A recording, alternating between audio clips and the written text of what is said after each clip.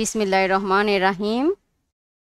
I am Tahida Rahman assistant teacher সিস্টি central school and college Rajshahi আমার প্রিয় শিক্ষার্থী, তোমরা সবাই নিশ্চয়ই ভালো আছো। আমরা আমাদের তৃতীয় সেমিস্টার পরীক্ষার প্রথম অধ্যায়ে চলে এলাম, তাই না? প্রথম ক্লাসটা আমরা আজকে করব। প্রথমেই জেনে নেই আমরা কি সম্পর্কে ক্লাসটা করব। আমরা আজকে যে ক্লাসটা করব, সেটা কিন্তু আমাদের, অর্থাৎ জীবের একটি জৈবিক প্রক্রিয়া, যেটা জীব জীবনের প্রথম থেকে শুরু করে শেষ পর্যন্ত এই প্রক্রিয়াটি চালিয়ে যায়। সেই প্রক্রিয়াটার নামটা কি? শ্বসন প্রক্রিয়া। হ্যাঁ জীব তার মানে উদ্ভিদ এবং প্রাণী দুটোতেই কিন্তু এই প্রক্রিয়াই সম্পন্ন হয়। প্রথমেই আমরা জানব কেন এটা হয়, তারপর জানব এটির সংজ্ঞা। আসলে প্রতিটি জীবের কোষে যে সাইটোপ্লাজম থাকে তা তোমরা আগেই জেনেছো যে কোষে সাইটোপ্লাজম একটা অংশ রয়েছে যেখানে সঞ্চিত খাদ্য শর্করা, প্রোটিন ফ্যাট এগুলোর মধ্যে কিন্তু কি থাকে? শক্তি থাকে। কিন্তু সেই শক্তিটা উদ্ভিদ এই শ্বসন প্রক্রিয়ার মাধ্যমে কিন্তু ব্যবহার করতে পারে। তাহলে প্রক্রিয়াটা কি, কীরকমভাবে হয় সেটাও আমরা এ অধ্যায় থেকে জানব। শ্বসন প্রক্রিয়া আসলে উদ্ভিদ উদ্ভিদের অন্তকোষীয় একটি প্রক্রিয়া। এই প্রক্রিয়ায় প্রতিটি কোষে যে খাদ্য রয়েছে, তা আমরা আমাদের প্রশ্বাসের মাধ্যমে যে অক্সিজেনটা গ্রহণ করি, সে অক্সিজেনের সঙ্গে বিক্রিয়া করে শক্তি উৎপন্ন করে, অর্থাৎ এটিপি উৎপন্ন করে। এবং এই এটিপির মাধ্যমে জীব কী করে, তার চলাফেরা, যত কাজ সব কিছুই এই শক্তির মাধ্যমেই করে থাকে, তাই না? তবে কত সুন্দর একটি প্রক্রিয়া এবং এটি কিন্তু একটি দহন প্রক্রিয়া, শ্বসন একটি দহন প্রক্রিয়াও বটে। তাহলে শ্বসন প্রক্রিয়ার উদ্দেশ্য সম্পর্কে আমরা জানলাম। এখন আমরা জানব শ্বসনের সংজ্ঞা। বলতো, কি হতে পারে? যে জৈব রাসায়নিক প্রক্রিয়ায় জীব তার কোষস্থ খাদ্যবস্তু অক্সিজেনের সহায়তায় জারিত করে শক্তি উৎপন্ন করে এবং এর সঙ্গে কি উৎপন্ন হয়?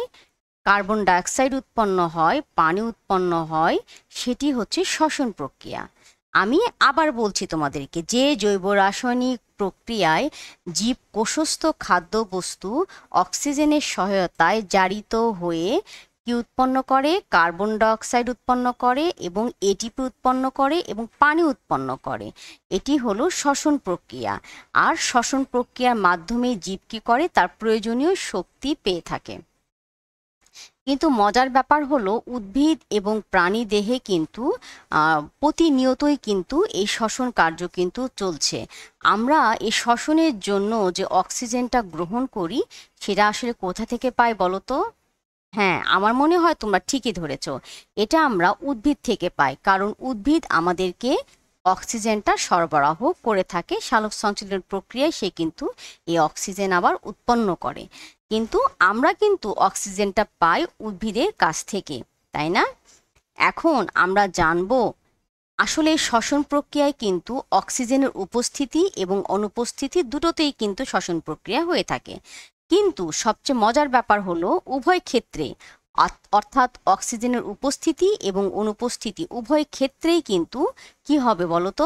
কার্বন ডাইঅক্সাইড কিন্তু উৎপন্ন হবে। অর্থাৎ এই কার্বন ডাইঅক্সাইডটা অক্সিজেনের উপস্থিতি, অনুপস্থিতি উভয় ক্ষেত্রে উৎপন্ন হবে।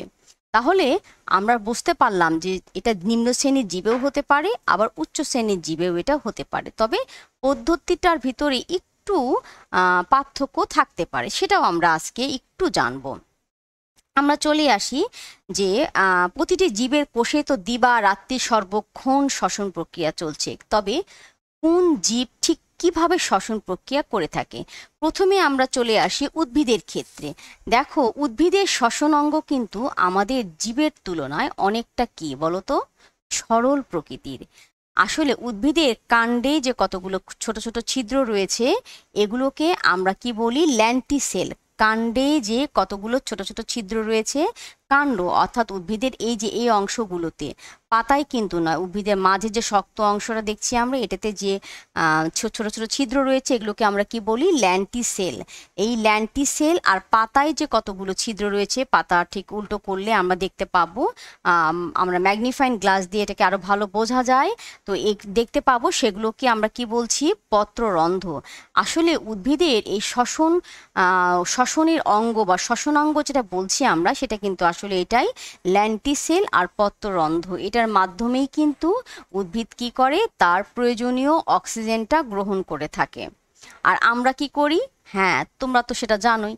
আমরা আসলে বায়ু থেকে অক্সিজেনটা গ্রহণ করি আমাদের নাসারন্ধ্রের মাধ্যমে এবং আমাদের ফুসফুস ট্রাকের মাধ্যমে আমাদের শ্বসন কার্যটা চলে। আচ্ছা এবার চলে আসি আমরা নিম্ন শ্রেণির আরও কতগুলো জীব রয়েছে?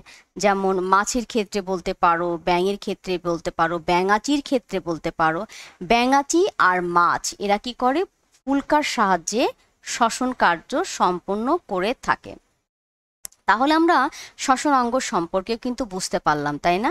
যে শ্বসনাঙ্গটা আসলে কি কীরকমভাবে শ্বসন প্রক্রিয়া সম্পন্ন হয়, আর শ্বসনের এই বিক্রিয়াটি কিন্তু তোমাদের বইয়ে কিন্তু উল্লেখ নেই। এখানে আমি একটি বিক্রিয়া দেখিয়েছি, তোমরা একটু লক্ষ্য করো, শ্বসন কি হয়? অক্সিজেন গ্রহণ করে, আর কোষস্থ শর্করা জাতীয় খাদ্য আমি এখানে লিখেছি। প্রশস্ত শর্করা জাতীয় খাদ্য, অক্সিজেনের সহায়তায় জারিত হয়ে এটিপি কার্বন ডাইঅক্সাইড আর পানি উৎপন্ন করে। তা আমরা পানিটা লিখিনি, আমরা যে দুটো মেইন উৎপাদন বস্তু, সেই দুটো কথা আমরা লিখেছি এখানে এটিপি এটিপি মানে হলো কি? অ্যাডিনোসিন টাইফসফেট আর কার্বন ডাইঅক্সাইড উৎপন্ন করে এবং সকল ক্ষেত্রেই কিন্তু কার্বন ডাইঅক্সাইড উৎপাদন হয়, সেটা তোমাদেরকে আমি বলেছি। আচ্ছা এবার আমাদের বইতে যে আছে, পাঠের যে অংশটুকু আছে, সেটা কি? যে শ্বসনকালে শক্তি উৎপন্ন। আমরা এখন একটু তোমাদেরকে কতগুলো জিনিস চেনাবো। থার্মোমিটার তো সবাই দেখেছ, তাই না? থার্মোফ্ল্যাক্স কিন্তু সবাই মনে হয় দেখনি। এটা হলো একটি থার্মোফ্ল্যাক্স এটা হলো একটি থার্মোফ্ল্যাক্স এইরকম এই শক্তি উৎপাদন যে পরীক্ষাটা রয়েছে, এখন এরকম আমাদের দুটো থার্মোফ্ল্যাক্স আমাদের প্রয়োজন হবে। এই থার্মোফ্ল্যাক্স দুটোকে আমরা কি করব সেটা আমরা এবার একটু দেখে নিই। তোমরা একটু দেখো, এখানে কিন্তু কি রয়েছে? একটা ছিপি রয়েছে। এটা কাঁচের ছিপি।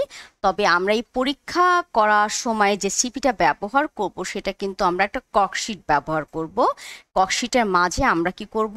ছিদ্র করে একটা থার্মোমিটার প্রবেশ করাবো। মানে এই এরকম মাপের একটা ককশিট ব্যবহার করব।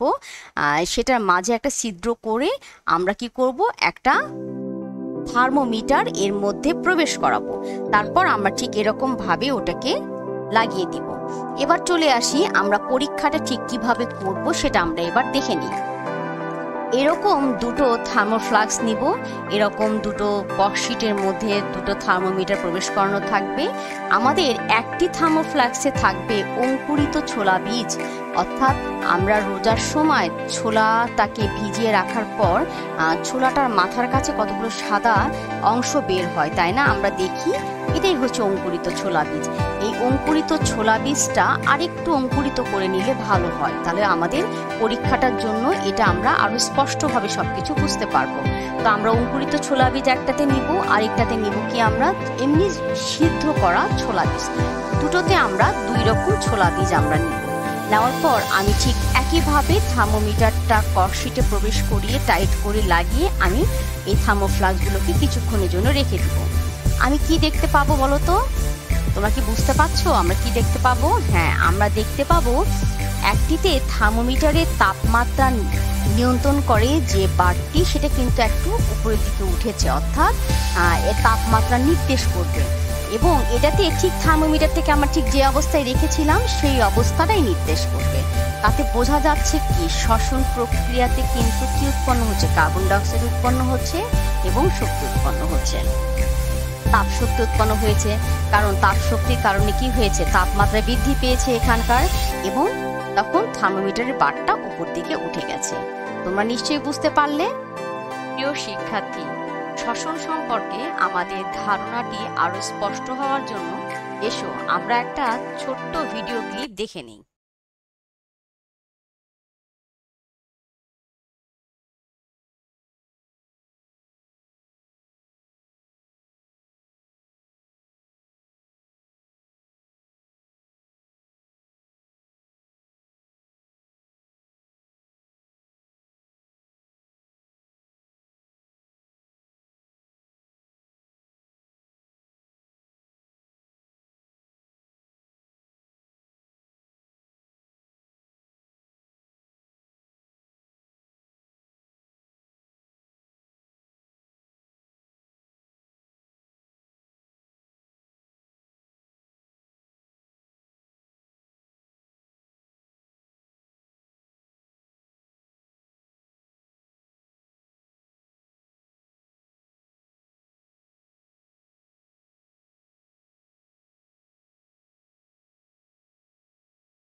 is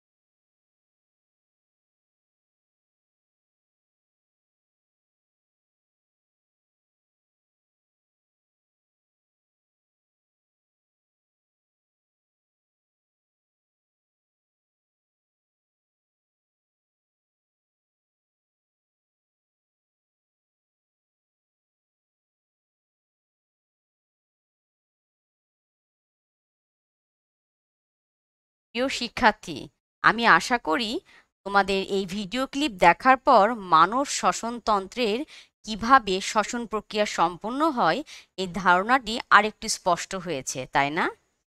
আমরা এভাবেই আমাদের এই অধ্যায়ে কতগুলো গুরুত্বপূর্ণ প্রশ্নগুলো এরকমভাবে কমপ্লিট করার চেষ্টা করব, তাই না? তোমাদের আজকের যে হোমওয়ার্কটা থাকবে সেটা হলো, শ্বসন কি? এবং বিভিন্ন জীবে কোন অঙ্গের মাধ্যমে শ্বসন প্রক্রিয়া সম্পন্ন হয়। এটা তোমাদের আজকের হোমওয়ার্ক থাকবে। তোমরা, আমি আশা করব এই করোনাকালীন সময় সবাই সুস্থ থাকবে, সবাই ভালো থাকবে, নিজেদের যত্ন নেবে। সবাই ভালো থাকো, সুস্থ থাকো। আল্লাহ হাফিজ।